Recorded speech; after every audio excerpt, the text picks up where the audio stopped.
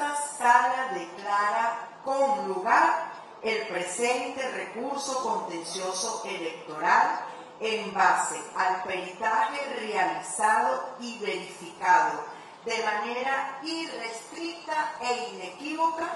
y con fundamento en el informe elaborado por los expertos electorales nacionales e, e internacionales altamente calificados e idóneos, quienes garantizaron el máximo nivel de excelencia técnico-jurídico. Certifica de forma inobjetable el material electoral peritado y convalida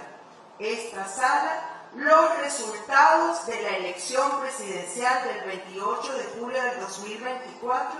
emitidos por el Consejo Nacional Electoral, donde resultó electo el ciudadano Nicolás Maduro Moros como presidente de la República Bolivariana de Venezuela para el período constitucional 2025-2031, así se decide.